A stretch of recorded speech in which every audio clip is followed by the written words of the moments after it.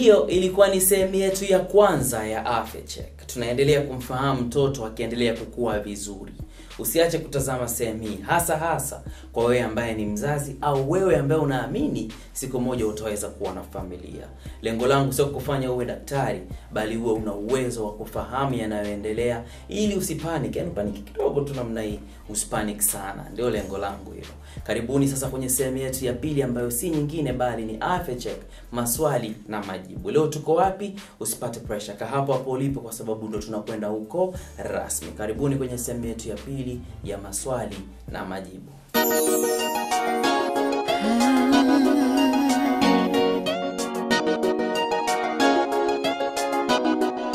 Habari, naitwa Dr. George kutoka Navan Medical Care iliyoko Kigamboni, uh, Kibada. Hospitali yetu inatoa huduma mbalimbali. Tuna madaktari bingwa wa watoto, madaktari bingwa wa kina mama, tuna madaktari bingwa wa masikio, pua na koo. Lakini pia tunatoa huduma ya ultrasound kwa wamama wajawazito na pia tunajivunia kuwa na maabara ya kisasa kabisa ya Lancet.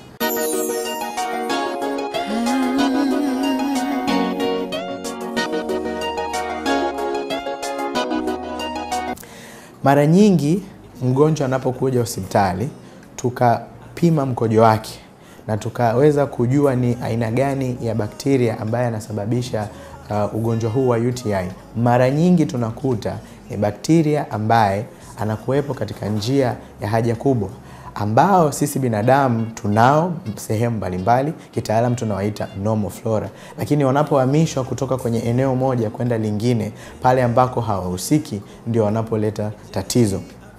Sasa basi, pale mtoto wa kike anapokwenda kujisaidia, kama anatumia choo cha kukaa, tunashauri kwamba achukue karatasi ya kujifutia au toilet paper, afute pale anapokaa atupe karatasi hile ndani ya tundu, achukue nyingine tena aitupe kule ndani, ili kufanya yale maji yaliyoko mule yasimrukie pale ambako anajisaidia.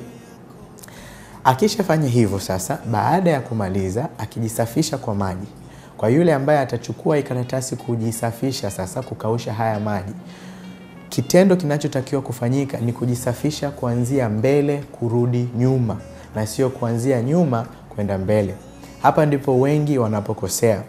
Lakini kabla haujasimama pale kutoka kwenye uh, kiti cha choo, hakikisha kwamba umechukua kipande kidogo, umejisafisha kwa mfumo ule ule tuliouelezea, kwa sababu ukinyanyuka kabla ya kujisafisha hivyo, basi maji yale yanaweza yakachuruzika kutoka upande wa chini na kurudi upande wa mbele ambako kuna sehemu ya haja ndogo. Sasa ukishafanya hivi utaona kabisa kwamba tatizo la uh, UTI halitokuwa linakupata mara kwa mara. Baada ya hapo sasa, pia tunashauri watu ambao wana, wanapata tatizo hili kuwa ni watu wa, wanaopenda kunywa maji mara kwa mara, kuhakikisha kwamba mkojo haui na kemikali nyingi ambazo zimechujwa kutoka kwenye, kwenye figo. Ugonjwa wa pili ni ugonjwa unaoshambulia masikio tunaita otitis media. Ugonjwa huu pia una uwezo wa kupandisha homa kali sana kwa watoto. Bakteria wanashambulia eneo la sikio. Um, mpenzi mtazamaji, ningependa ufahamu kwamba masikio, pua na koo yameunganika. Kuna um, mwendelezo au tunasema ni tube ambayo ina, inatoka kwenye sikio kuingia eneo la juu la koo ambayo tunaita kitaalam eustachian tube ambayo inaunganisha maeneo haya matatu. Inamaanisha kwamba mtu akipata maambukizi kwenye eneo la koo au kwenye eneo la uh, mdomo au pua, ana uwezo wa kupeleka hawa bakteria au bakteria hawa wana uwezo wa kusafiri mpaka eneo la sikio, na hii inaonekana mara nyingi kwa watoto pale ambako wanapata maambukizi ya pneumonia au wanapata maambukizi ya mafindofindo ambako tutakwenda kuongelea baadaye kidogo. Baada ya wiki mbili au tatu wanarudi tena wakiwa wanalalamika sikio linawauma na uh, dalili ya kwanza ni mtoto kulalamika kwamba sikio linamuuma. Dalili ya pili, wanaweza wakawa na uvimbe nyuma ya sikio.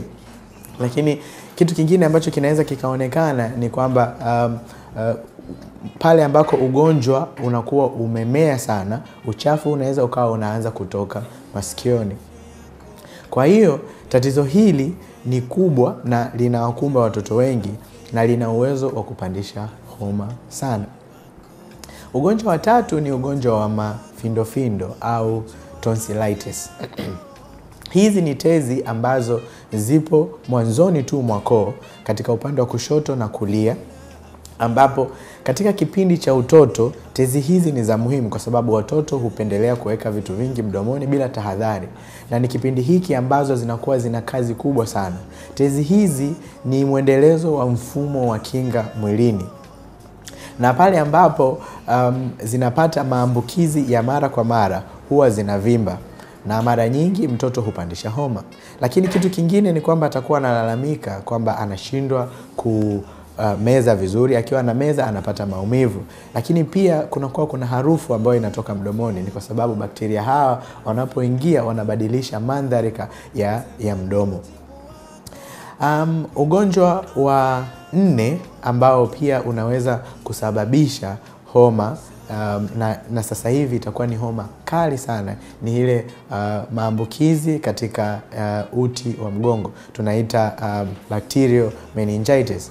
Um, meningitis kama meningitis inaweza ikasababishwa na uh, vitu kadha wa kadha ikiwemo hata fungus, lakini kwa leo tutaongelea bakteria na bakteria hawa wana, wanapoingia katika mfumo huu um, uh, wanasababisha uh, homa kali na mwanzoni kabisa mtoto atakuwa na dalili zote za magonjwa ambayo yanafanana na yale ambayo homa inapanda, lakini pale ugonjwa unapoendelea kwa watoto wale wadogo, wanaanza kuwa wanalia bila kuweza kunyamaza. Hata mzazi anapojaribu kumbembeleza mtoto huyu ataendelea kulia, lakini kilio hiki kinakuwa ni kile ambacho ni kikali, tuna kitaalamu tunasema ni high pitched cry, lakini pia unakuta mtoto anakakamaa na mara nyingi kama uh, mpenzi mtazamaji, unaweza ukawa umeona kwenye picha, mtoto anakuwa amejipinda, shingo imejipinda inaelekea upande wa mgongo, na shingo inakuwa ni ngumu sana. Na katika kipindi hiki um, eneo lile la uti wa mgongo linakuwa linapata uh, irritation, linapata uh, msuguano ambao unaleta maumivu makali. Lakini uh, bakteria hawa wanaweza kupenya na kuingia katika mfumo huu uh, kwa kupitia damu, na magonjwa yote haya tuliyoyaongelea hapo awali yana uwezo wa kuingia sasa, bakteria wale wakaingia kwenye damu na kusafiri na kuleta ugonjwa huu. Lakini um, ugonjwa mwingine uh, wa tano sasa tutazungumzia ni uh, maambukizi yale yanayotokana na majeraha au kupata majipu katika eneo la ngozi. Watoto hucheza, huumia, lakini vidonda vile vina uwezo wa kupata infection, bakteria ambao wako katika mazingira tulionayo, lakini pia na bakteria walioko kwenye ngozi ambao wanatulinda, wanaweza wakapata upenyo na kuingia katika kidonda na kukifanya kiweze kupata infection, na hapa pia mtoto anaweza kupandisha homa.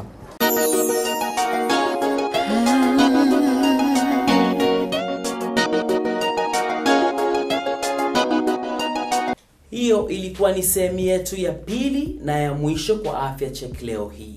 Kikubwa ni kwamba tumejifunza jambo, sindio? Eh, kama hatujajifunza jambo, niulize tena maswali. Mimi nitarudi hapo kwa ajili ya kumuuliza daktari maswali hayo ulioniuliza, na nakuhakikishia majibu utayapata hivyo hivyo hapo hapo ulipokaa. Ndio lengo la Afya Check hilo. Mimi na nyinyi sasa tutakutana tena wiki ijayo kwa ajili ya Afya Check nyingine moja kwa moja kutokea Tokyo. Ningependa kumshukuru msaidizi ambaye ananisaidia vyema hapa anakuwa kwa jina la Akira Murata, lakini pia ningependa kumshukuru director wangu eh, Ibrahim Pinga ambaye yuko Dar es Salaam akihakikisha kwamba kipindi kinaenda sawa. Nikakushukuru wewe kwa kunitazama mimi mpaka dakika hii. Ninakwambia tukutane wiki ijayo kwa ajili ya afya check nyingine. Hakikisha kwamba afya yako inabaki mikononi mwako. Mpaka wiki ijayo, adios.